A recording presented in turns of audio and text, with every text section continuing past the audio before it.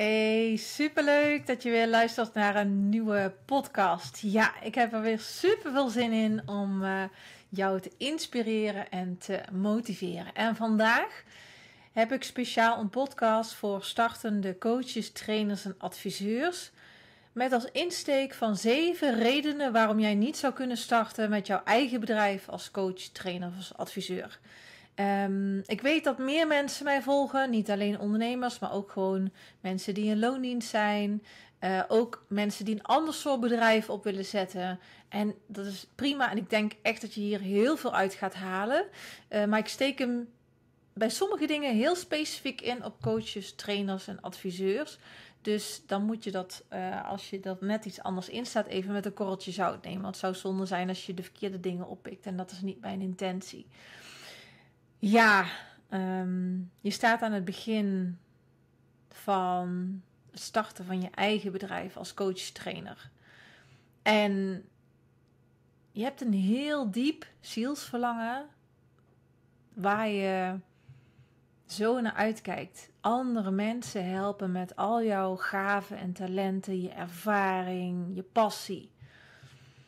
En ja, dan begint natuurlijk uh, alles te malen in je hoofd. En dat stemmetje van: oké, ja, um, kan ik dat al? Weet ik al genoeg? Hoe ga ik dan beginnen? Hoe pak ik dat aan? Nou, noem maar op. En ik wil met jou in deze podcast zeven redenen bespreken waarom jij niet zou kunnen starten als coach, trainer of als adviseur. Waarom? Omdat heel veel vrouwen zichzelf klein houden en zeggen: ja, dat het niet voor hun is weggelegd, om de een of andere reden. En in 2015 stond ik op hetzelfde punt als dat jij nu staat. Ik had een diep verlangen. Oh, dat lijkt me fantastisch om zo'n soort bedrijf op te zetten. Maar ja, wat ga ik dan doen? Waarmee ga ik mensen helpen? Um, ja, waar moet ik nog meer over leren? En het was dat uh, een van mijn klanten destijds, toen, in, toen had ik een eigen bedrijf als virtueel assistent. En zij was business coach. En zij zei tegen mij: Daniel, volgens mij heb jij een grotere potentie. Nou, en uh, zo is het balletje gaan rollen. Zij heeft mij die liefdevolle schop onder mijn kont gegeven. En toen ben ik het gaan doen. Dus ik weet, als jij nu aan het luisteren bent, dat je ook denkt: ja, ik zou zo graag willen, maar kan ik dat al wel? En daarom neem ik deze podcast op om jou te inspireren, te motiveren en je ook de liefdevolle schop onder je kont te geven dat je het ook gaat doen. Ja, en ik ga met jou zeven punten langs, zeven punten van waarom jij niet zou kunnen starten. En deze zeven punten leerde ik ook tijdens mijn business coach opleiding die ik uh, later uh, volgde. En dat is een heel mooi model waarin je kan zien van waar blijft dan iemand hangen als hij niet verder komt. En het eerste punt waarmee ik wil beginnen is um, dat het heel erg belangrijk is dat jij je waarom weet. Um, dat je weet wat is je passie en wat is je hoger doel. Dus waarom wil jij zo graag andere mensen helpen? Waarom wil jij zo graag jouw coachbedrijf opstarten? En ja, waarschijnlijk komt er nu iets uit van, ja, ik wil andere mensen helpen uh, op mijn eigen manier, met mijn eigen visie, uh, met de toolbox die ik heb, of juist de dingen die jij ja, hebt geleerd, hebt overwonnen en die zo fantastisch waren, dat je dat anderen ook gunt. Hè, dus waarom wil jij dit zo graag en wat ja, heb jij jezelf uh, gegund of wat heb jij overwonnen en wat gun jij dan anderen ook? Daar zit hij heel vaak, hè? Als je dus je eigen bedrijf start als coach of trainer, dan heb je heel vaak zelf dingen meegemaakt in het leven, dingen geleerd, uh, dingen overwonnen en dat gun je anderen ook. Dus je waarom, je why, een hele bekende natuurlijk de meesten kennen hem, niet iedereen. Simon Sinek. People don't buy what you do, but why you do it. Waarom doe je dat? Die drijfveer is zo belangrijk. Dan, wat is je passie? Waar wil je anderen zo graag bij helpen? Wat vind je nou zo super leuk? Wat drijft jou? Waar, um, ben je continu mee bezig? Waar ben je in geïnteresseerd? Waarin wil je je verder ontwikkelen?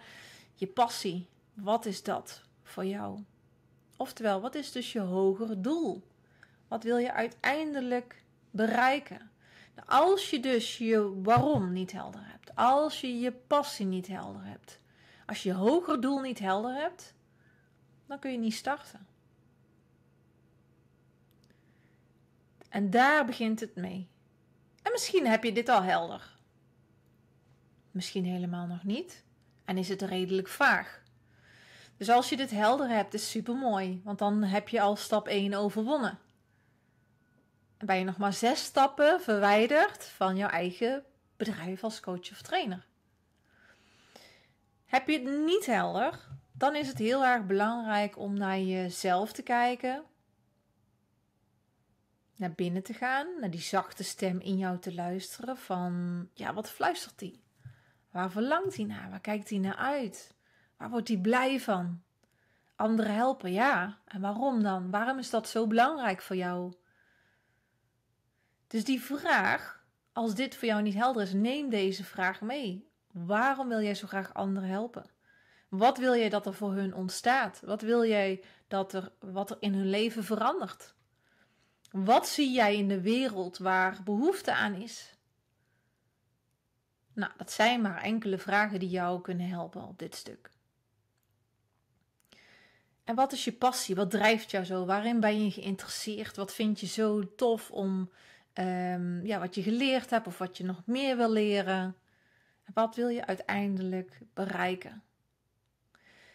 Ik weet nog dat um, een van mijn klanten die um, was gestart als ZZP'er, maar ze zei nee, ik wil toch verder. Ik wil toch een andere rol gaan vervullen. En het enige wat zij wist was ja, het onderwijs. Want ze kwam uit het onderwijs en ze had zoiets van nou, ja, ik zou daar gewoon heel graag iets willen doen. Maar wat precies, et cetera, wist ze nog niet. Ehm, haar eigen verhaal was dat ze zelf in het onderwijs vastliep in de regels en dat ze haar potentie als leerkracht niet kwijt kon. Dus zij is uiteindelijk gestart bij mij en uh, dat ging niet zonder slag of stoot, want ze liep tegen de volgende stap aan, de tweede, waar we zo meteen over gaan hebben. Maar zij had in ieder geval al wel helder van, ja, mijn hart ligt in het onderwijs. Uh, ik zie daar dat daar leerkrachten tegen dingen aanlopen waar ik tegenaan liep destijds. En die wil ik heel graag helpen. Want ik gun het ze dat ze die potentie tot bloei brengen, dat ze volledig um, lekker in hun vel zitten, in hun rol als leerkracht, volledig tot hun recht komen. Dus dat stukje had zij in ieder geval al. En wat is dat voor jou? Dus ga eens kijken in jouw leven, wat is dat voor jou, wat jou zo ja, diep van binnen raakt. Dan komen we bij de tweede reden waarom je niet zou kunnen starten met je eigen bedrijf als coach of trainer. En dat is je mindset, je identiteit. Wat geloof jij over jezelf? Geloof jij dat jij tot iets in staat bent om dat te bereiken? Of niet? En als we het over mindset hebben, dan praat ik altijd over de harde stem en de zachte stem. Je kan het ook wel zeggen als uh, je ego en je, je, de fluistering van je ziel je hartsverlangen. Uh, of je zuivere waarheid, hè, die zachte stem. Dus je hoort mij daar altijd over praten. En die harde stem, die is vaak heel duidelijk aanwezig. Want die wil veiligheid, die wil zekerheid. Nou, je weet waarschijnlijk hoe het in elkaar zit. Waardoor die zachte stem weg, weg wordt gedrukt en die harde stem overheerst. En wat zegt die harde stem dan? Zegt hij dan bijvoorbeeld van ja, maar dat lukt je toch niet om dat op te zetten naast je baan. Of dat lukt je toch niet om klanten te vinden, want wie zit er nou op jou te wachten? Um, um, wat heb jij nou voor unieks te, te brengen? Van goh, Ja, oftewel, jij bent daartoe niet in staat om wat je diep van binnen voelt, die zachte stem die zegt van goh, ik zou dat zo graag willen. Een succesvol bedrijf waar ik goed mee verdien, zodat ik vrijheid heb, mezelf kan ontwikkelen, mensen help op mijn manier, volgens mijn visie en mijn werkwijze. Dat die harde stem overheerst. En dat die zegt van nee, maar je bent daartoe niet in staat. En je identificeert jezelf met die harde stem. En dat is waar het misgaat, is dat jij gelooft dat jij de identiteit bent van jouw verstand. Oftewel, Eckhart Tolle zou zeggen van jouw zelfzuchtige ik, die alleen maar op zichzelf gericht is. Maar daar zit niet je waarheid. Maar het probleem is dan dat je de identiteit aanneemt van die harde stem, oftewel je ego, je innerlijke saboteur. Als je die stem blijft volgen en je blijft je identificeren met die harde stemmen, met dat verstand die dat, die dat zegt, terwijl jij dat dus niet bent, forget it. Gaat niet werken om je bedrijf dan op te zetten. Tenzij je bereid bent om daar iets aan te doen. Nou, en als je bereid bent om hier iets aan te doen,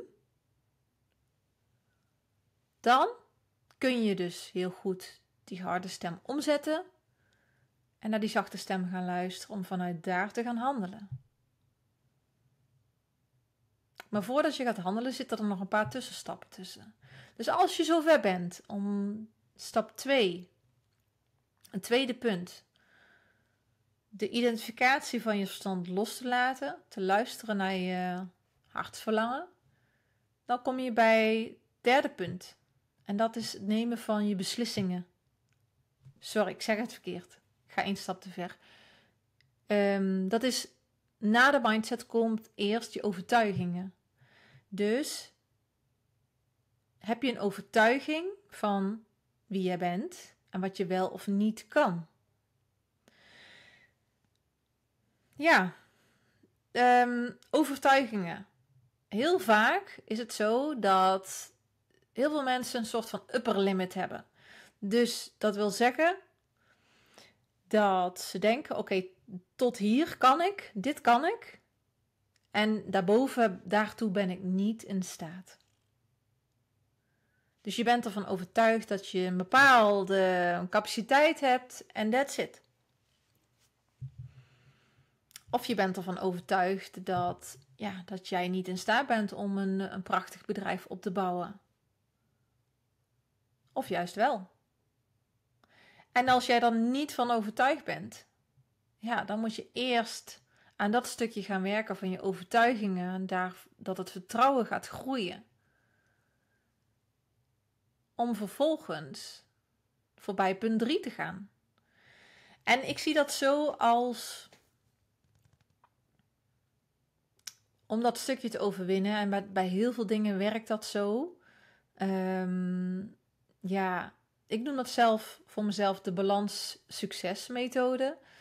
Dat alles in het leven draait om balans. Ik heb ook een opleiding gedaan tot systemisch coach. En ja, daar merk je ook bij opstellingenwerk dat ja, als iets in onbalans is, hoe dan ook, het universum trekt het in balans op de een of andere manier. En vaak niet op een manier die wij fijn vinden.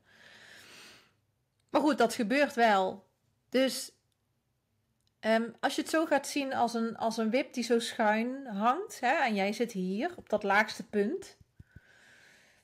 Uh, dus jij zit op het laagste punt en jouw doel is zeg maar om op het hoge punt te komen.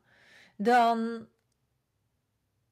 ga je alleen maar um, verandering teweeg brengen op het moment dat je die wip iets omhoog brengt en het de andere kant iets omlaag gaat. Totdat je steeds verder gaat en de wip in balans komt. En je gaat nog verder en je gaat omhoog en de andere kant gaat omlaag. En de enige manier om die wip in beweging te krijgen is dat jij zelf in beweging komt. Dus ik zeg altijd tegen klanten dat je uh, één kleine stap moet zetten richting je doel. Ook al voelt het zo'n kleine mini-stap, dat maakt niet uit. Maar het gaat erom dat je in beweging komt en dat je ook een succeservaring krijgt. Ik moest even op het woord komen. Dat je een succeservaring krijgt. En dan groeit je zelfvertrouwen steeds meer en meer en meer. Nou, um, ik ben ook heel lang zelf uh, tegen punt 2 uh, eh, aangelopen en punt 3. Want ja, ik dacht in 2015, ja, ik ben daar toen niet in staat. Um, nou, en de enige tijd later veranderde dat wel. En ik dacht van oké, maar dat was pas eigenlijk dat iemand mij liefdevolle schop onder mijn kont gaf. Die zei, maar je hebt het wel in je. Hè? En dat helpt al. Dat je iemand hebt die dat ziet bij jou en die jouw cheerleader wordt. En dat je dus de overtuiging creëert van hé, hey, ik kan dat ook. Dus wat mij altijd heeft geholpen is, um, weet je, bouw het op naast hetgeen wat je nu doet qua inkomen. Dus gooi geen oude schoenen weg voordat je een nieuwe hebt. En ga het gewoon proberen. Follow the joy. voor de meeste mensen geldt gewoon volg je onderbuik. Dat is niet voor iedereen. Um, en maar zeker voor de generators of de manifesting generators. En dan praat ik even over human design. En niet iedereen zal thuis zijn in human design. Maar human design pas ik dus toe in mijn uh, coaching. Omdat het mij heel veel inzicht geeft in hoe klanten in elkaar zitten en wat er bij hun past. En heel veel mensen zijn dus generators. En daarbij is het heel erg belangrijk dat die naar hun onderbuik luisteren. Dus volg jouw gevoel, volg je enthousiasme. En ga het gewoon proberen. Um, verlang niet te veel van jezelf in die zin. Verwacht niet te veel van jezelf. Want verwachtingen scheppen teleurstellingen. Verwachtingen komen vaak vanuit de mind. Dus vanuit je verstand, vanuit je ego. Het zelfzuchtige ik, zeg maar. Ja. Dus ga gewoon spelen. Kijk gewoon. Wees verbaasd over elke mooie stap die je zet.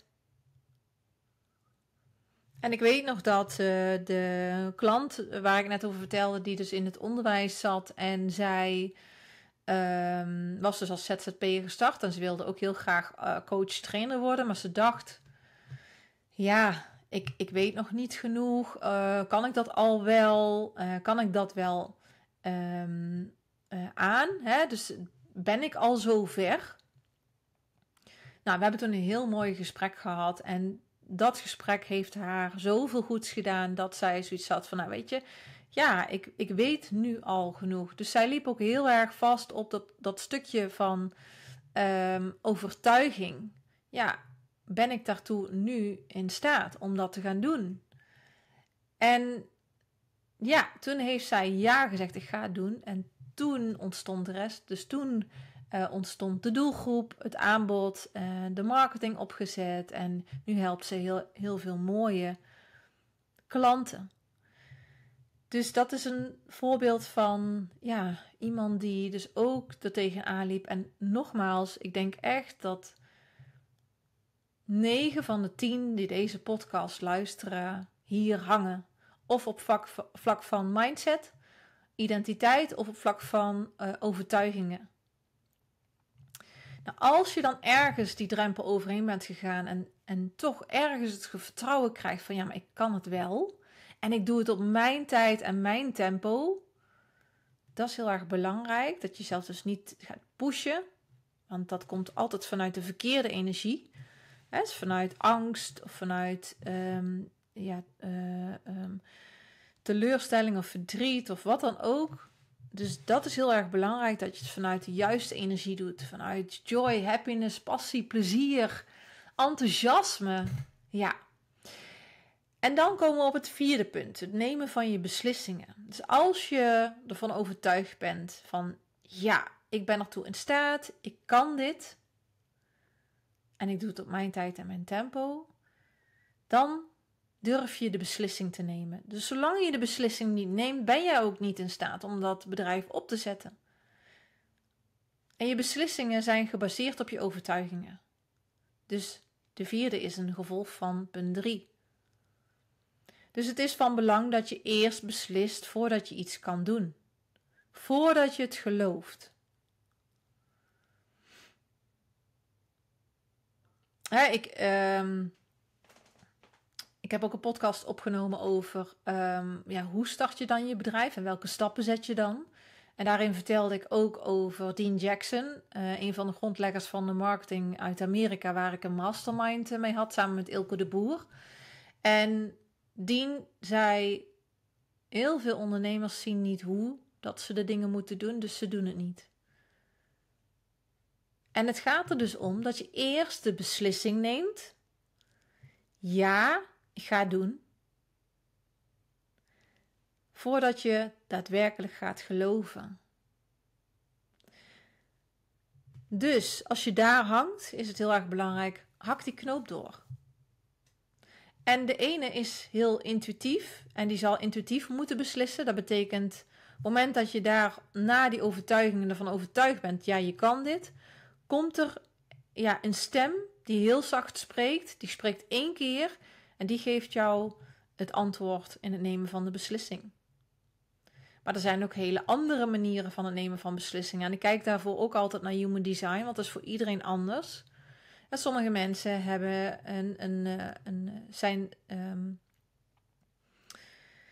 zijn zo ontworpen, zeg maar, zitten zo in elkaar dat zij gewoon een soort van emotionele ehm, golf af moeten wachten, zodat ze de beslissing kunnen nemen. Want die hebben gewoon wat meer tijd nodig. Anderen die, die mogen hun respons vanuit het onderbuik voelen van oké, ja, hier, ja, dit voelt echt als mm dit wil ik graag. Of mm nee, dit is het niet voor mij. Dus die moeten die respons weer heel erg voelen. Nou, zo zijn er allerlei manieren voor het nemen van beslissingen. En dat is voor iedereen anders. Um, dus als je al thuis bent in human design, dan weet je waarschijnlijk wel hoe je een beslissing neemt. Ben je dan niet in thuis? Ja, dan is dat wel heel erg interessant om dat eens te onderzoeken. Hoe werkt dat voor jou?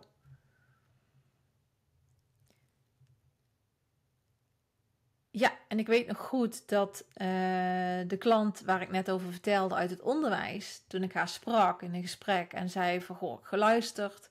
En ik dacht echt, nou, echt, jij hebt gewoon potentie, klaar. Dit kun jij, je kunt hier een prachtig bedrijf mee opzetten. Nou, dat was fijn hè, om in dat gesprek helderheid te krijgen voor haar. En toen nam ze de beslissing. Ja, dat was heel mooi. En vervolgens, dan heb je punt 4 dus gehad. Dan kom je bij punt 5. Waarom je niet zou kunnen starten met je eigen bedrijf als coach, trainer of adviseur, omdat je doelen niet helder zijn. Dus is het heel erg belangrijk dat jij je doelen helder maakt. Dus wat wil je bereiken met je bedrijf? Um, wat wordt je doel? Dus hoeveel. Nou, je, doelen kunnen op heel veel vlakken zijn. Hè? Doelen kunnen zijn op vlak van omzet, op vlak van hoeveel tijd, um, hoeveel vrij, vrijheid wil je hebben, dus hoeveel werktijd, um, uh, hoe snel wil je iets neerzetten. Doel kan zijn uh, je ideale klant of je, je doelklant ontdekken. Um, een doel kan zijn een goede marketingstrategie uitrollen. Een doel kan zijn een mooi aanbod neerzetten, een mooie training of trainingen. Dus maak dat heel helder. Kijk eerst naar het grote plaatje. Oké, wat wil je in totaal neerzetten? En wees realistisch, wat kun je nu doen? Ja, je kan wel een vijfjaren plan maken, maar daar heb je helemaal niks aan. Weet je, dus kijk op zijn minst en max naar uh, voorbij een jaar, of uh, tot een jaar ongeveer. Misschien ietsjes verder, maar tot over een jaar. En dan reken je dat terug in subdoelen. Van goh, oké, ik ga eerst dit doen. En zo pak je uh, dat grotere doel, hak je dus in subdoelen. Zodat het ook overzichtelijk wordt. En zeker voor de meeste mensen is het heel erg belangrijk om stap voor stap te bouwen aan hun bedrijf. Ga je dat niet stap voor stap doen, dan verlies je het overzicht en dan raak je geblokkeerd je doelen zijn niet helder, niet concreet of het is te, te, te veel, te warrig. En je komt niet in actie. Ook als je doel te groot is, bevries je ook. Omdat het te spannend is. Dus dan moet je het kleiner maken. En subdoelen opdelen. Ja. En als je doelen dan helder hebt, dan komen we bij punt 6. En dat is actie nemen. Want je neemt actie op basis van je doelen. Als je doelen niet helder zijn, zijn je acties dat ook niet. Ja, en hier zit ook een hele belangrijke. Je kan je doelen nog wel helder hebben, maar vervolgens actie nemen is ook zo eenvoudig niet. je kan wel zeggen, ja, je moet dit doen, want iedereen doet dat zo en uh, dan zijn ze succesvol, dus jij ook. En je moet dat op deze manier doen. Maar de kans is ook groot dat die manier voor jou niet werkt.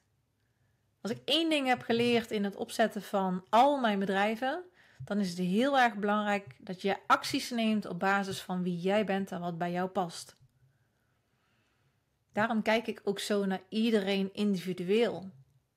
Je kan niet zeggen, oh doe dit en dat en dan werkt het voor je. Bullshit. Er is geen one size fits all.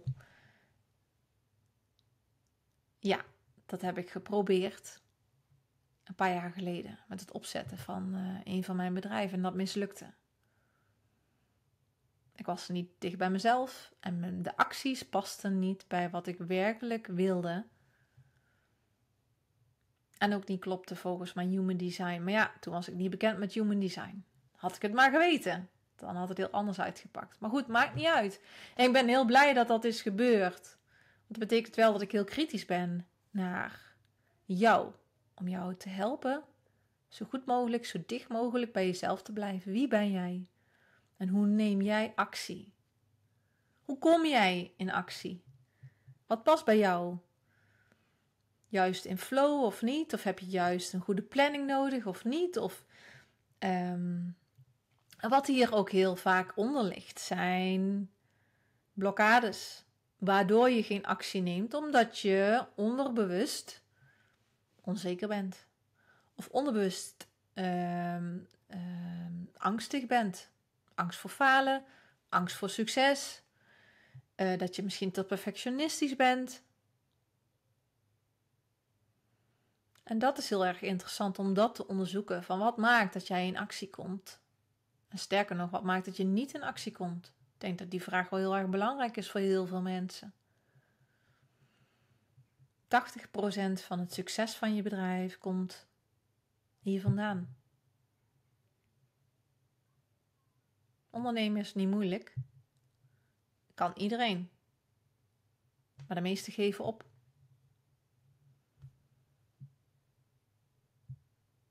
Volgens mij was het dat Ehm, van de ondernemers na vijf jaar de helft is gestopt. En iets van nou, ongeveer 25 procent, ik weet het niet precies, 20, 30 procent, maar laten we even 25 procent pakken, verdient onder het minimumloon en 25 procent boven het minimumloon.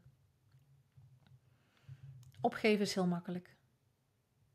Maar echt succesvol worden, en dan heb ik het echt over echt mega succesvol worden, dat je echt een prachtig bedrijf hebt staan, dan moet je door je comfortzone heen. Ik spreek uit ervaring, het is gewoon zo. En ik weet nog dat ik aan het begin van mijn start van mijn coachbedrijf stond en ergens twijfel had van wil ik dit wel? Want ik weet dat het niet altijd makkelijk gaat zijn. Maar wil ik dit? En toen dacht ik, ja, als ik het niet doe, dat is saai.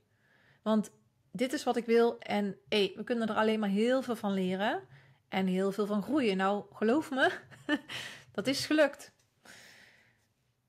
Maar ik heb daar heel bewust voor gekozen. Ik ga ervoor. En het heeft mijn leven enorm verrijkt in alle opzichten. Ja. En met name op uh, vlak van groei in mindset en zelfontwikkeling en bewustzijn. Dus jouw acties. Hoe kom jij in beweging? Hoe werk jij het beste? Wat werkt voor jou?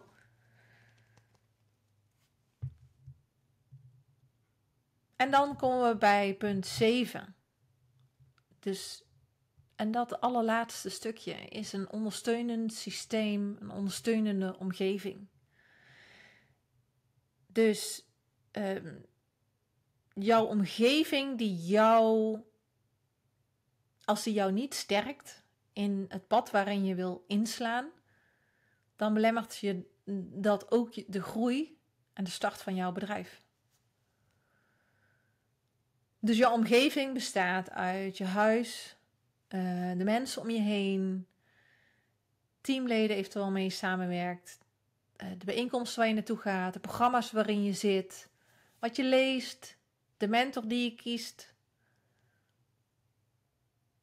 Heel vaak worden mensen belemmerd omdat er iets in hun omgeving niet goed zit. Ze worden niet gesteund, ze worden niet gezien, anderen zien de potentie niet in en ze staan er helemaal alleen voor. En geloof me, ondernemen kan heel alleen voelen. En daar zit je dan. Thuis. Je eigen coachingbedrijf op te bouwen en het lukt niet. Je omgeving steunt je niet. Nou, je denkt echt, het zal wel. Ik stop ermee. Bijvoorbeeld, of andere mensen praten jou omlaag. Zou je dat nou wel doen? Is groot risico. Je hebt een hypotheek. Je moet die vaste lasten betalen, et cetera. Het is allemaal een projectie van hunzelf, niet van jou. Nou ja, ik ehm, wil je daar nog een keer bewust van maken dat alles wat anderen tegen je zeggen, alles wat anderen denken of doen, zegt iets over zichzelf en niet over jou. Dus blijf heel dicht bij jezelf en geloof dan in jezelf om die stap te zetten. Maar zorg dat je mensen om je heen hebt. Een fijne mentor die jouw potentie ziet, die jou steunt, die al die vragen beantwoordt, die jou richting geeft, die jou de volgende stap laat zien die je nodig uh, hebt om te zetten, om je bedrijf op te zetten. Dat je gelijkgestemden om je heen hebt die ook in hetzelfde schuitje zitten in het starten van hun bedrijf. Dat je buddies vormt, dat je dingen kan delen met elkaar, dat je kan sparren, dat je je emoties kwijt kan, dat je successen kan delen. Zorg voor een fijne omgeving. En dat zijn de zeven elementen die cruciaal zijn in iets bereiken. In het opzetten van jouw bedrijf als coach, trainer of als adviseur. Dus ga maar eens na voor jezelf. Waar zit jij ergens? Waar hang jij? Want je wil zo graag. Is het je waarom, je passie, je hoge doel? Punt 1. Of je mindset, je identiteit. Punt 2. Of punt 3, je overtuigingen. Dat je gelooft dat je iets wel of niet kan. Punt 4, het nemen van een beslissing. En nogmaals, gooi geen oude schoenen weg voordat je nieuw hebt. Bouw het gewoon op naast je baan of vanuit een uitkering. Follow the joy, maak plezier, ga het doen en kijk gewoon. Blijf in het vertrouwen, de juiste energie. Punt 5, je heldere doelen. Ah, Oké, je hebt de beslissing genomen. En dan? Wat zijn je doelen? Maak het concreet, maak het specifiek. Punt 6, je acties. Kom in actie. Ga dingen doen. En als je dat gaat doen, dan kun je echt, nou binnen een half jaar tot een jaar, heb jij jouw coachbedrijf heel stevig staan en help jij jouw eerste klanten. Zo snel kan het gaan. Zelfs nog sneller. maar wees wel even heel reëel. Um, ik heb er denk ik een jaar en drie maanden over gedaan om mijn andere bedrijf die ik had voordat ik dit bedrijf startte, mijn coachbedrijf startte, uh, los te laten. Dus ik heb het ook uh, al die tijd gecombineerd. Ik ga natuurlijk niet een financieel risico lopen. Ik ben wel gek. Dus als jij dat bedenkt dat je dit niet durft omdat je bang bent dat je financieel risico loopt. Dat is die ego die, die loopt te blaren, die harde stemmen. Wat een bullshit. Je gaat dat gewoon op jouw tijd en tempo doen en je creëert gewoon die balans van die wip, van de ene inkomen naar het andere. neem je gewoon de tijd voor.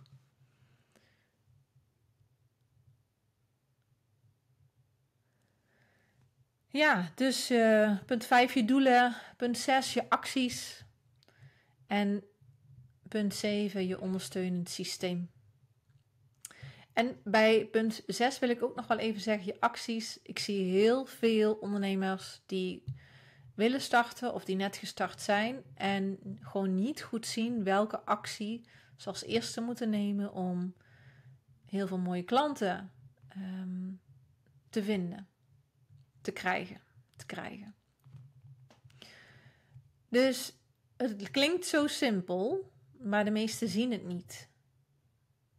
Nou, en dan heb je dus je ondersteunende omgeving, die er voor jou is, die jou helpt, die jou steunt bij het zetten van die stappen, het zetten van de volgende stap, die jouw cheerleader is en die er voor je zijn.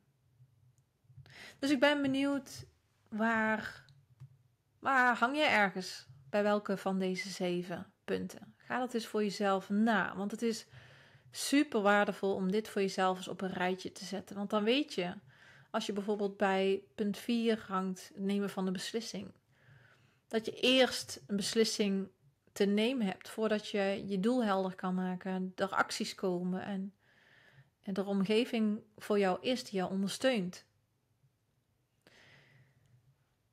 En um, ik wil afsluiten met uh, een laatste stukje dat het heel erg belangrijk is dat je in de dankbaarheid gaat voor wat er al is. Ja, natuurlijk wil je nog zoveel opzetten, leren, bereiken. Um, soms zijn we zo geneigd om zo ver vooruit te kijken naar wat er nog niet is. En dat maakt ons ja, soms een beetje wanhopig of gefrustreerd of ja, verbitterd. Maar kijk eens, wat is er nu al wel? Wat heb je nu in je rugzak zitten waarmee je anderen kan helpen? Wat kun je nu al doen? En als ik ga kijken naar klanten die ik heb geholpen, die ehm, een rugzak gevuld hadden met kennis en ervaring. Ja, die, die waren in het begin, hadden ze niet de overtuiging dat zij uh, tot dat in staat waren. Als ik bijvoorbeeld kijk naar ehm, Ja, dan moet ik ze even een goed voorbeeld uh, nemen van... Ja, dat was uh, Ingrid, dat was een van mijn klanten. En zij had in het verleden een uh, bedrijf gekocht... wat op het punt stond om, om te vallen van 0 euro. En dat had ze binnen een paar jaar um, naar een miljoenenbedrijf gebracht met haar partner. En Ingrid had heel veel financieel inzicht. En dat, daarmee had ze ook dat bedrijf geholpen en dat opgezet. En daarmee heeft ze uiteindelijk een bedrijf opgezet als winstexpert om anderen te helpen zoveel mogelijk winst te behalen met hun bedrijf. Maar in het begin was hij helemaal niet overtuigd en, en vol zelfvertrouwen dat ze dat kon. want het was wel na een gesprek dat ze zoiets had van: oké, ja, ik, ik kan er misschien wel iets mee.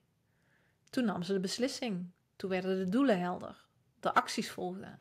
Ze had een ondersteunende omgeving en een prachtig bedrijf stond.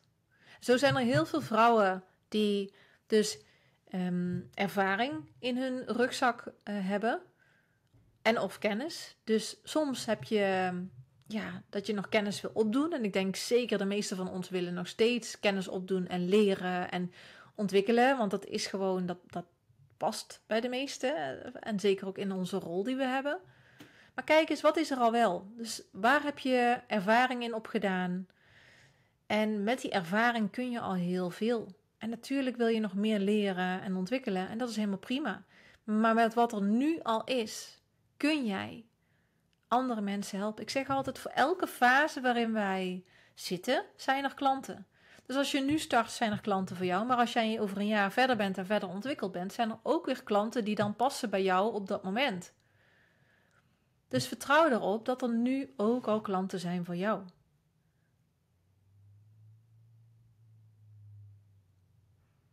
En we leven best wel in een hele drukke maatschappij.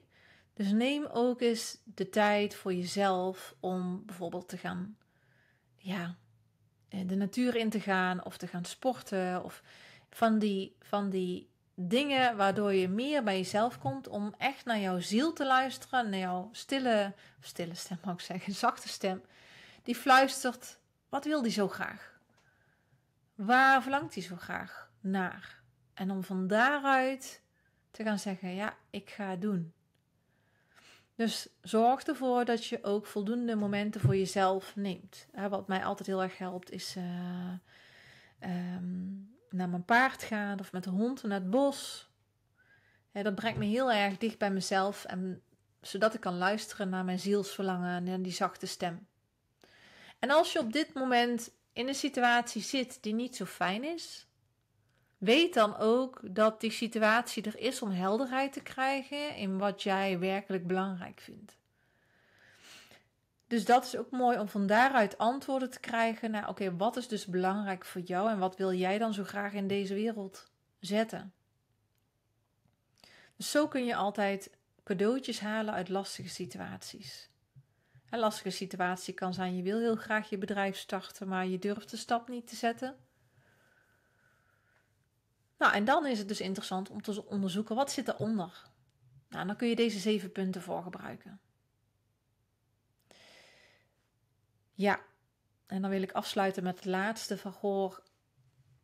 Mm, je mag meer in de dankbaarheid gaan. Dus waar ben je dankbaar voor? Wat is er allemaal al wel in je leven? Om ook in die positiviteit te komen, want die positiviteit en die juiste energie vanuit daar, vanuit daar ga je een heel mooi bedrijf manifesteren. Het manifesteren lukt niet als je in, in tekort denkt, in, in, um, in twijfel zit, in angst zit, in onzekerheid zit. Vanuit daar zit je niet in de juiste energie en ga je niet manifesteren. Dat doe je wel vanuit de, de positiviteit, vanuit de dankbaarheid. Geloof in overvloed, dat je je overgeeft aan wat is. Ja, dus neem die mee. Ik ben heel benieuwd op welke van deze zeven punten dat je ergens hangt en of dit je verder helpt in jouw proces. Heel veel succes!